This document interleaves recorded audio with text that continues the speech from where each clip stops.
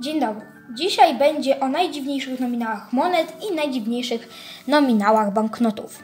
Banknoty, no z monet przygotowałem sobie tylko Związek Radziecki, kopiejki ichniejsze, a banknoty przygotowałem sobie głównie Rosję, ale idzie to przypadkami takimi dosyć normalnymi do najskrajniejszego przypadku.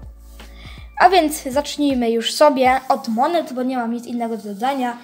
Może tylko to, że trochę ostatnio mm, mało, mm, tak jak sobie ustaliłem, nagrywam, no bo mi się jednak mm, wiele fajnie nagrywa, kiedy sobie chcę nagrać, a nie kiedy muszę, bo na przykład jest dzień, kiedy mam nagrywać. No ale to tylko tyle z informacji. No i zacznijmy sobie od monet. Jeżeli chodzi o kopiejki, no to mamy tutaj zwykłe nominały, tak jak 5 kopiejek, dwie kopiejki, jeszcze może gdzieś miałam jedną, ale jej nie znalazłem, bo tych monet mam całkiem sporo, więc yy, nie trzymam ich jakoś bardzo dobrze, no bo po prostu nie miałbym już miejsca.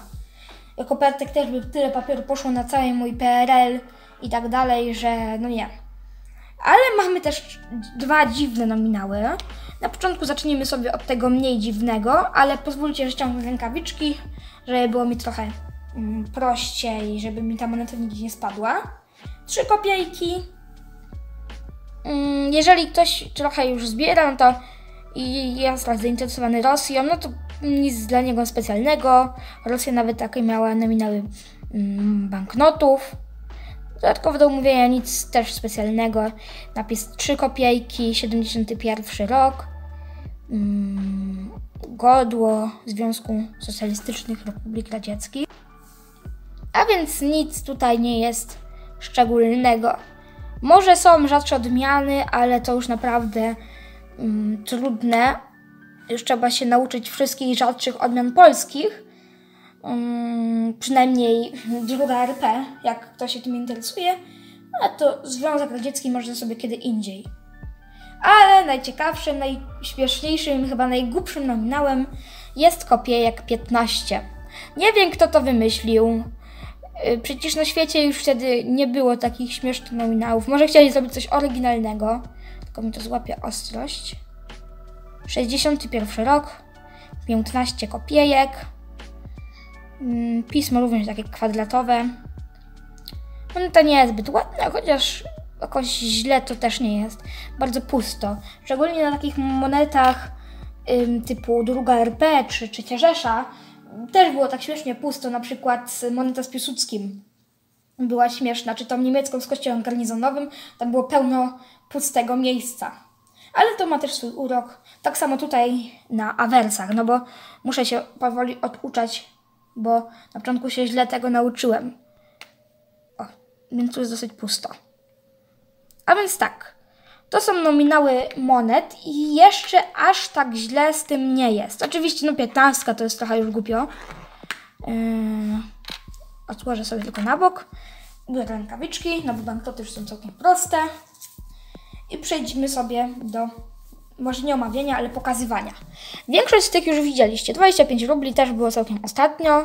Całkiem ładny banknocik, bardzo fajna kolorystyka. Ogólnie Rosja, Związek Radziecki, te najbardziej znane, czyli te z wizerunkiem Lenina, Włodzimierza Lenina, nie są zbyt ładne. Szczególnie, że mamy tutaj bardzo mało rzeczy, mm, czyli po prostu wizerunek Kremla.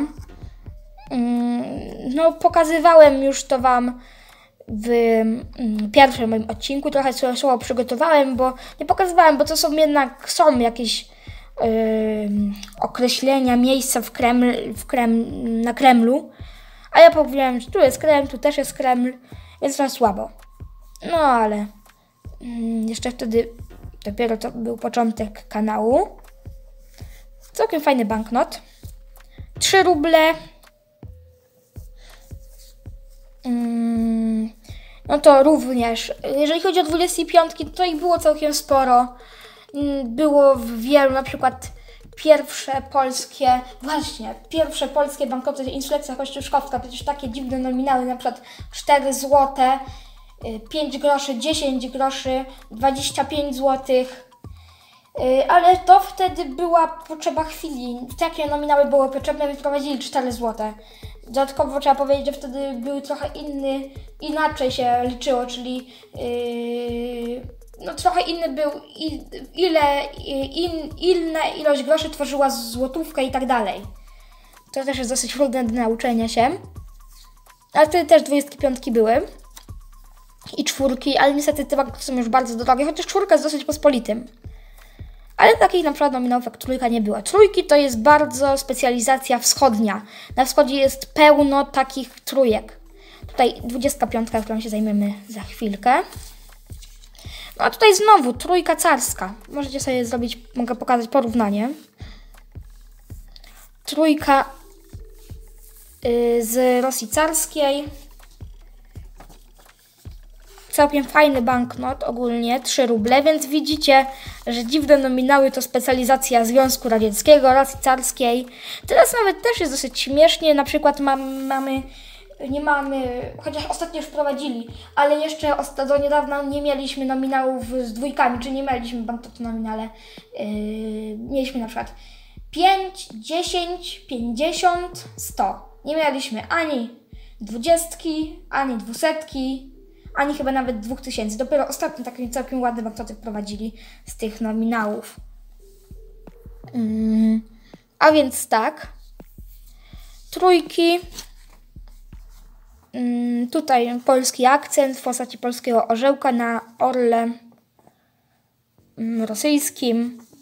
Kiedyś polski, polska część yy, Rosji carskiej, czyli Królestwo Polskie, miało swoją walutę, ale po powstaniach jednak ograniczyli niezależność Polski. Tak samo Polska już nie była jakby trochę odrębnym krajem. To był kraj nadwiślański i to była w sumie Rosja. Do tego mieli już te same banknoty. Nawet jak nie było tak jak w Austro-Węgrach, czyli yy, nie mieli yy, napisu po polsku, tylko już wszystko Związek, raczej Związek Radziecki, Rosja Carska i tak dalej.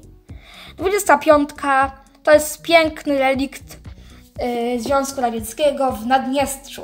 Na przykład Mołdawia, która chyba bardziej chce się ograniczać od mm, starej przeszłości, czyli komunistycznej przeszłości, już nie ma takich nominałów, ale mm, ruble naddnieszczańskie, czyli Naddniestrze, które jednak dosyć lubi, y, lubi, nad, y, lubi Rosję, tą dzisiejszą je lubi i kocha, można powiedzieć, Związek Radziecki. Jednak ja chcę do tego, jednak chcę do tego powracać, mając taki piękny nominał jak 25 rubli naddniestrzańskich. Ogólnie całkiem ładny banknot. Ciekawostka również na 50 naddnieszczańskiej nowej, gdzie jest wizerunek parlamentu naddnieszczańskiego w Tyraspolu. Nie mamy tam charakterystycznego pomnika mm, Lenina który jest, ale tam go nie ma. Tak samo na tych, co pokazywałam Wam w jednym z pierwszych odcinków o rubłach nadjeżdżańskich. Będę się przymierzał jeszcze do kupna tych wyższych nominałów, mam nadzieję, bo mi się strasznie podobają tematy nadniszczańskie, mołdawskie i tym podobne. Niestety już Roman nie prowadzi wycieczek, więc z nim chyba już nie pojadę niestety. A więc tak, y, twierdza w Benderach. To akurat pamiętam na pamięć. I teraz naj, naj, najdziwniejszy nominał dzisiejszego odcinka, czyli 15 kwiatów z Birmy. Tego Wam jeszcze nie opisywałem, więc go pokażę i opiszę. Mamy tutaj postać generała Aung Sana, czyli birmańskiego polityka, rewolucjonisty, żołnierza walczącego o niepodległość lub wolność Birmy. Ale ja Wam mówię tutaj o postaciach, a nie powiedziałem naj, najdziwniejszej rzeczy, jeżeli chodzi o o te banknoty, bo i cała seria. Niestety mam 15, którą już widzieliście na radzieckiej monecie. Mógłbym sobie sprawdzić na przykład dziewiątkę, 75, 35, 95 albo tym podobne. Chodzi o to, że dyktator ówczesny Birmy poszedł sobie z wizytą do astrologa, który mu powiedział, że jeżeli yy, będzie ustawił sobie takie właśnie numerki, będzie długo żył. No i ustawił takie numerki, zrobił coś jak taki birmański odpowiednik polskiej wielkiej reformy walutowej z 1950. No takie coś podobnego. Birmańczycy się zdenerwowali, zrobili przewrót, yy, ale ten dyktator dożył sędziwego wieku całkiem. Więc całkiem nieźle. Yy, rewers jest taki, mamy tutaj piękną piętnastkę. Ciekawe jak ja tym płacimy, bo to naprawdę były strasznie niewygodne nominały. Jak nie mieliśmy na przykład dziesiątki, to musiało być naprawdę straszne do płacenia. Mam tutaj wizerunek rzeźby w drewnie z Zagwyi. Jeżeli oczywiście to dobrze wypowiedziałem, wymówiłem, bo jednak całkiem trudne słowo. Ale jeszcze przeczytam Wam, zobaczę, czy dobrze to powiedziałam do końca. Wymawia się to Zawdży, jest to na wpół ludzka postać wraz z alchemikiem.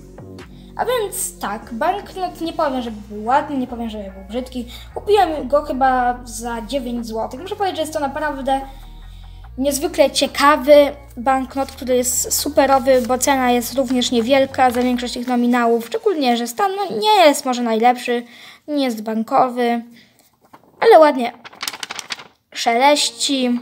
Mm, mam tutaj niby takie jakieś dziurki czy coś. Ale według mnie to nie jest aż taki wielki problem i według mnie naprawdę opłaca się kupić taki banknot, szczególnie, że pieniądze, które wydamy są naprawdę niewielkie, a śmiech przez tą piętnastkę, czy dziewiątkę, czy siedemdziesiątkę piątkę jest naprawdę bezcenny.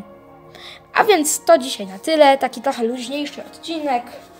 Trochę więcej ostatnio monet będzie się pojawiało na kanale, yy, bo się zacząłem dosyć interesować mocno, ale również będę Wam pokazywał uzupełnienie mojej całej serii 46 rok, bo ostatnio zakupiłem sobie nowy, fajny banknot z tego okresu.